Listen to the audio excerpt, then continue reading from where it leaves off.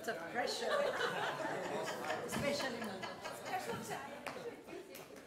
Bernadette, when I say giants, you just take a deep breath and take it. so, we have a visionary transpersonal person, Serge Beddington, who claims this is from England, but he's got a Russian soul. Bernadette Lin from France. Our president, so please be nice to her. And we've got our shamanic practitioner who was sent to us by the spirits, who is going to share his wisdom with us. So, please, Serge.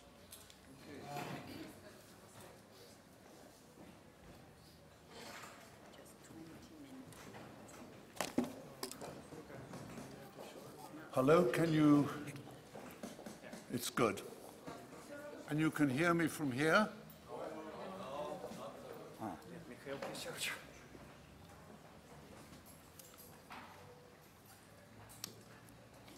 Just a moment.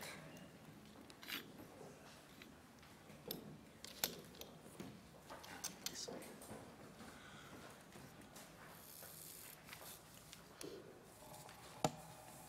Good morning. I feel a pygmy, a little person in front of all you wonderful people in the audience. And I feel very honored to be here because I am actually half Russian.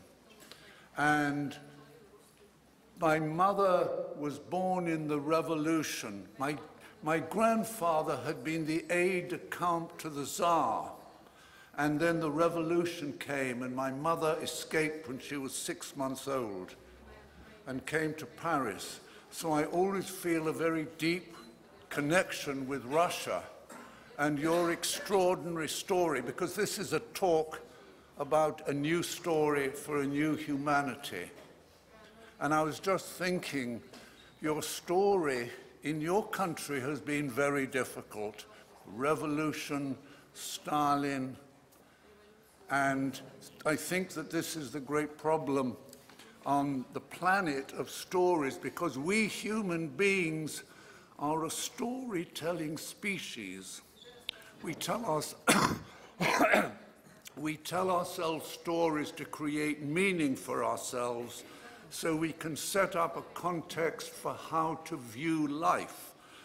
And the values we hold about it, the beliefs we have, are all about the stories that we inherit because they live in us. And if we look at our planet at the moment, with thousands of immigrants, with warfare at many levels, cyber warfare, trade warfare, a global war between all the different tribes, climate change, typhoons and storms, the rich get richer, the poor poorer, and especially so many people in so many countries being dissatisfied. So we're seeing the rise of a new toxic demagogue, which is well embodied in America. So the world is a dangerous place, and there's a climate of fear and uncertainty. And I say that this is the result of the stories that we've inherited. Because all of us here are the product of stories that enchain our hearts and that they rob us of soul. And they keep us superficial, in which we believe there isn't enough in the world to go round, that hunger and starvation, whatever we do, is inevitable, that, that we're all separate from one another, we're all disconnected from the cosmos.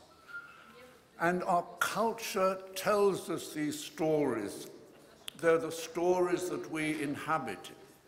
So it's natural that we feel anxious and alienated, and we feel we're not good enough, we should be more. And this is a lot to do with the stories that determine how we see ourselves. because, my dear friends, as our high priest of cuckoo-ness, Donald Trump would say, it's all false truth. And I would like to suggest that our survival, if we're going to make it to the end of the century, is through being nourished by new stories about what it means to be a human being. Stories that tell us that we're all souls, we're all interconnected, that we live in a generous and abundant universe, that there are many ways to God, and God is a loving, not a punishing being that we're all part of the consciousness of our planet.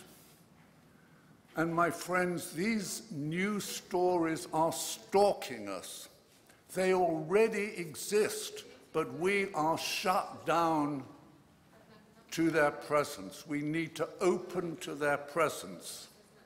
And the great philosopher Plotinus said, man is not a thing, but a space through which the divine can manifest.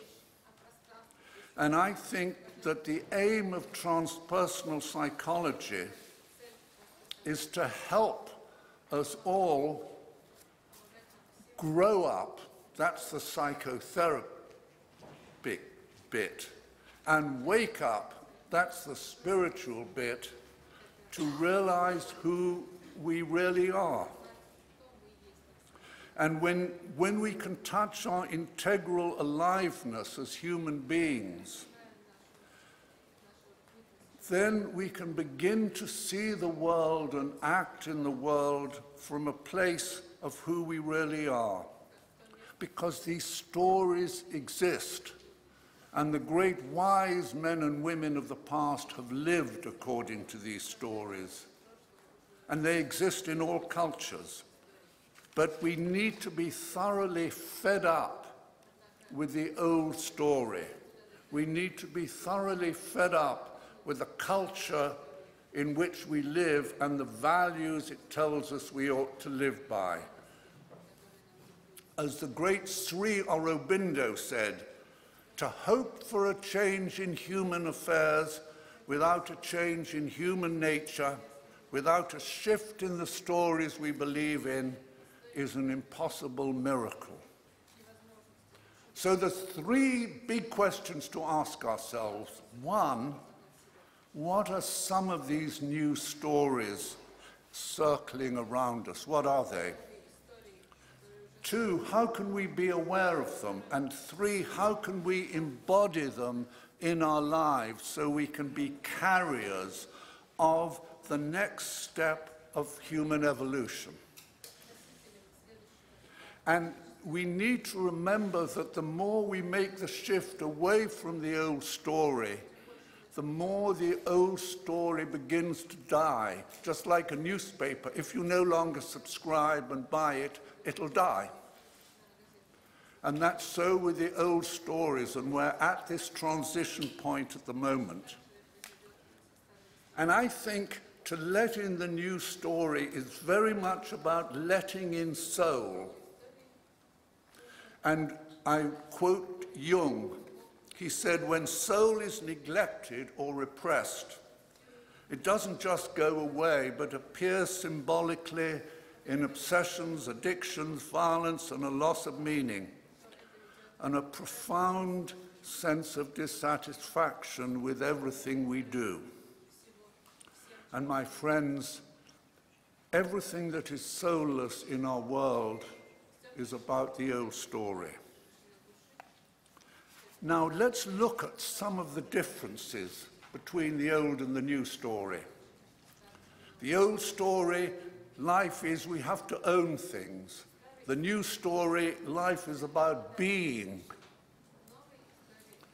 The old story is about love of power. The new story is about the power of love. The old story is about financial profit being dependent upon success. The new story says we're successful if we're loved, if we live a creative life, if we're healthy, if we support our fellow human beings. The old story says we use our planet to get rich. The new story says we honor our planet, and by honoring it, we feel rich inside ourselves. The old story tells us that reason is what we need to live by, the God of reason. The new story says that we need to live by the heart as well. The old story's vision of power is Rambo and Schwarzenegger. The new story is about the subtle martial artists. The old story says, My country first, Trump, America great, and to hell with what happens in the larger global community. The new story says, How can I honor what the larger whole needs, which I recognize helps my own country to become rich? The old story has a love of luxury and commercialism. The new story has a desire for beauty predicated on simplicity and being natural. The old story says, fix the past. The new story says, let's create something new. The old story says, dump. The new story says, let's recycle. The old story says we need continual war in order to keep the economy going. Crazy, isn't it? But it's true. Perpetual war for perpetual peace. The new story says, let's work for peace and create a new system. Now, as we look at the old story, we see every aspect of it is out of harmony with the way the world needs to unfurl. So, how can we be an activist for a new story? Because I think that that's what the deeper purpose of the transpersonal movement is about. It's not just about our personal change, but how can we be change agents for the larger world. I think there's two things. One, we need to see where are we embedded in the old story? Where do old story values still reside in us? Where are we prejudiced? Where do we disrespect our fellow human beings? But we also need to look outside in the world Where does humanity play what Eckhart Tolle calls the pain games? And how can we do something, each of us in our own way, to take energy out of the old system and bring it into the new? Because the old stories have their tentacles embedded deeply inside us all.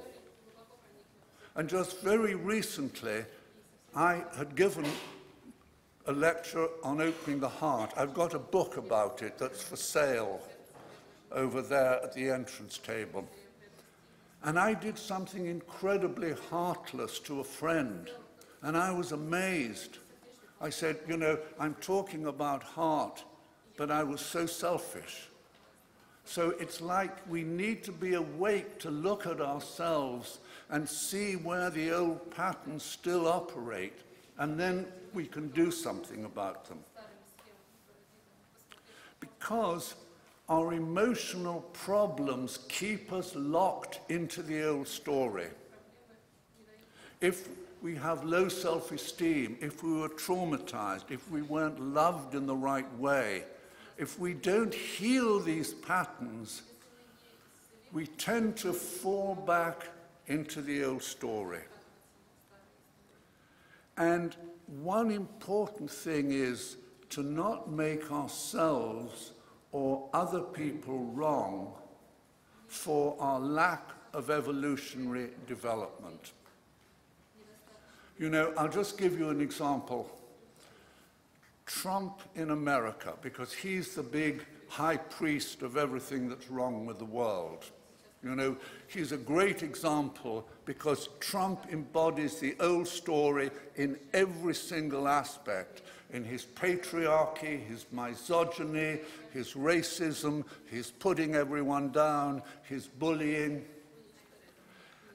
But it's very important to see that in America, Trump got into power because 50% of the American people see the world like him.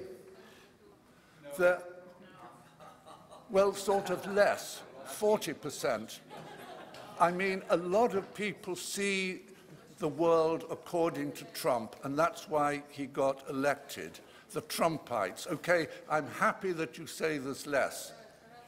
But the point is that there's many of our human beings who couldn't care one iota about climate change or helping our fellow human beings, who couldn't care about immigrants or the plight of those who are hungry.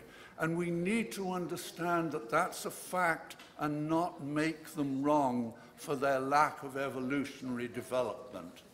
And we can talk about three distinct phases the egocentric development, that's just me first, ethnocentric development, me and my tribe, you know, I just stick up for my tribe, and then planic-centric development, what is it, what can I do to help the planet?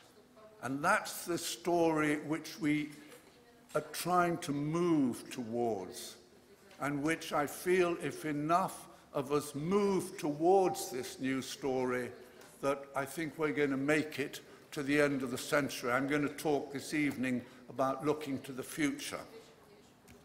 So I wrote down 20 things that I thought if we wanted to embrace a new story that we need to take up in our lives. First thing, be committed to work at what it is inside us that keeps us locked into the old patterns, that keeps our hearts closed down, that keeps us afraid of being open to our human beings, that keeps us afraid of saying, Hi, you're a great person, I love you. Because, and that sort of keeps us locked in our little containers. We need to open up, we need to learn how to undo the chains and be free. Because the new story is very much about freedom. And what helps, what I've always done, is to seek the company of people who are more evolved than us, who live the new story, because then we can learn through their presence. When I was 19, I visited the community of Findhorn in Scotland, a spiritual community. And I was very locked, you know, sort of kind of sort of public school Oxford man, sort of very repressed. I was sort of standing like this. I wore a tie. and I was suddenly exposed to people who were free, who loved me for who I was, not because I was special, but just because I was another human being. And this opened my eyes. And we need to seek the company of people who are free because it's lovely to be in the presence of people who don't try to impress us, don't, don't tell us that they're more important, valuable, and superior than us, who don't try to please us, but are just real. So choose the company of real people wherever you find them, and they're not only spiritual masters. The third, engage in activities that feed your soul and that give you joy and beauty.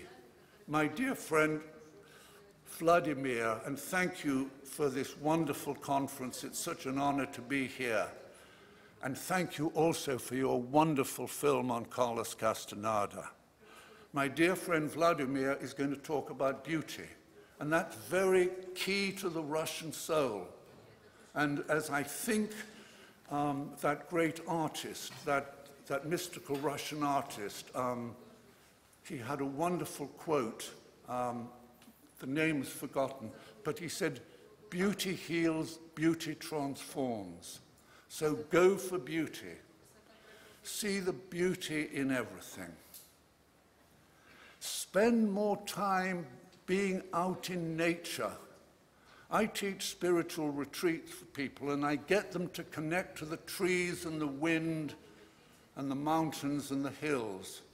That is more therapeutic than sitting in front of someone and telling them that their mother didn't love them. We, we need to really remember to be with things that are natural because that will take us away from our addiction to normality because it's our normality that is the problem.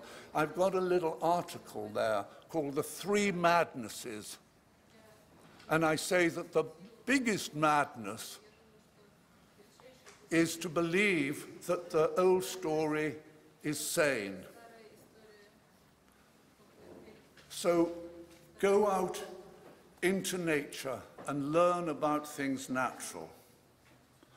Also, work at opening your hearts. I've just written a book on opening the heart, and it's my wife is selling it there and all the proceeds are going towards this conference. So please buy a copy because it's all going to help um, Vladimir, and they're for sale there. But try to open your hearts, work at opening your heart, and connect with all the qualities of love and joy and celebration because we need to celebrate life. The wonderful thing of last night was it was a celebration of life. And we need to celebrate. Too many of us, and I find it a little bit with something of the Russian spirit because of the traumas you've gone through. There can be a sort of, there can sometimes be a fear of letting go to celebrate. You know, that we're brought up to an image that we have to work all the time. I say that the biggest work that many of us can do is to factor in time for celebration each day. And see as our celebration finding a way that, to make a difference in the world.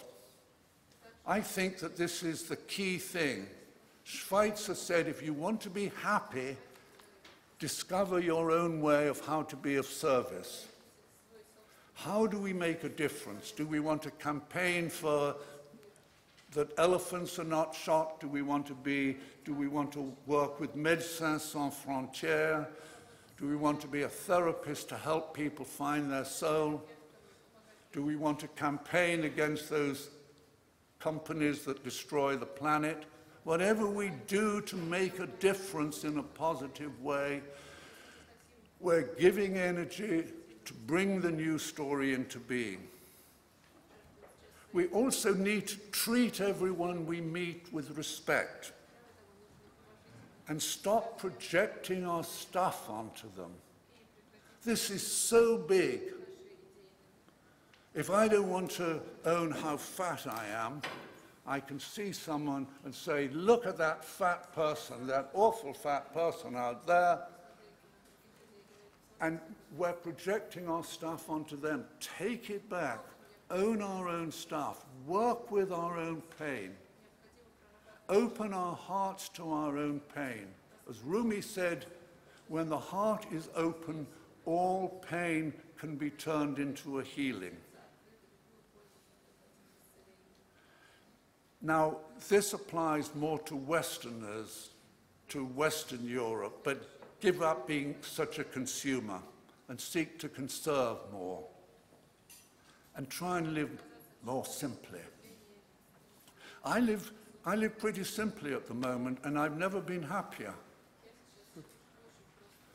When I didn't live so simply and my life was terribly complicated, I spent my whole life having to deal with all the complications I'd chosen. I think that there's something kind of magical about simplicity. I don't know if any of you have ever read that book um, called Walden by Thoreau. It's fantastic, isn't it? This, this American transcendentalist poet, he built a hut by a pool and he lived in this hut for four years and it was his observations on the world where he stayed away from all the hurly-burly and he allowed himself to find his own voice. So finding a new story, my friends, is finding your own voice and being in a space where you can find your own voice because often we aren't in a space where we can discover our own voice. Which means make an effort to try to live a strong inner life. We have two livings we need to earn. An outer living, we go and we earn money from our job, and we have an inner living. And if we ignore the inner living, we pay a price. So find what nourishes your inner life through surrounding yourself with people who are real, doing the things that you love, allowing space to contemplate and pray, dealing with your own dark side. Because when we live a strong inner life, we enjoy life more. Five more minutes? Good.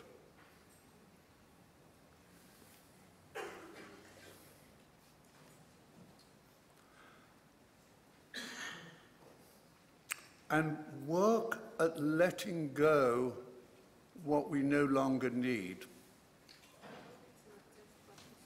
I got divorced about 10, 10 years ago, and my ex-wife took a lot of my possessions and things, and I, at the time, I felt I'm so attached to these things, these paintings, house.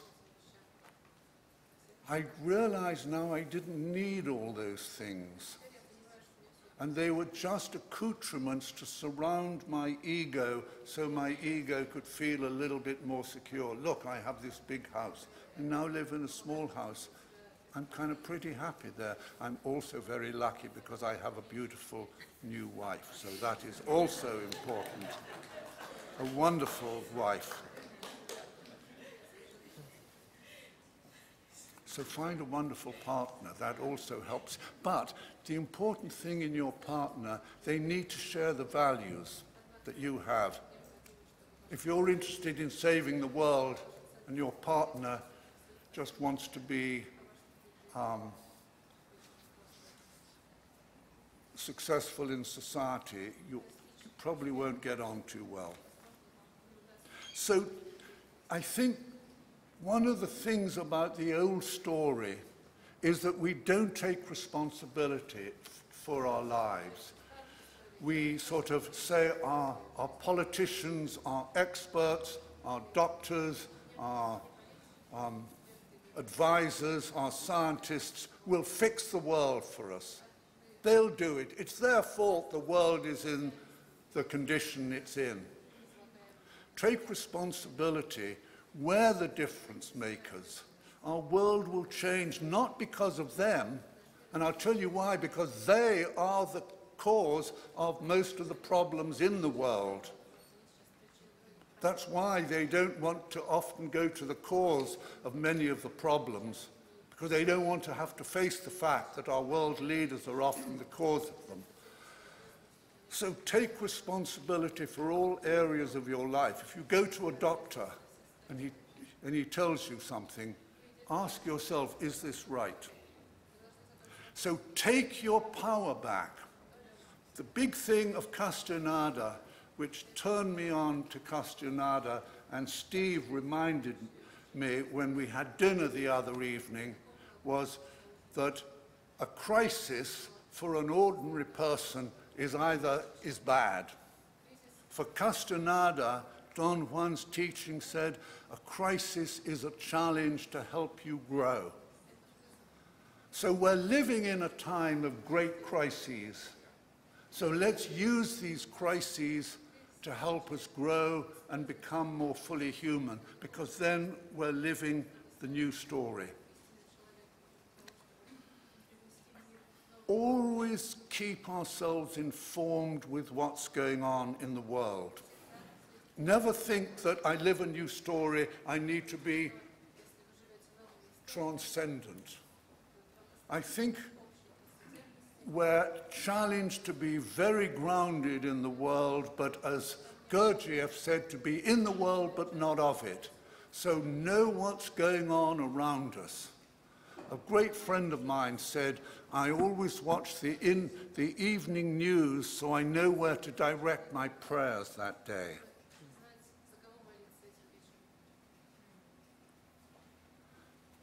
Because the difficulties of the things that are going on in the world, there are challenges.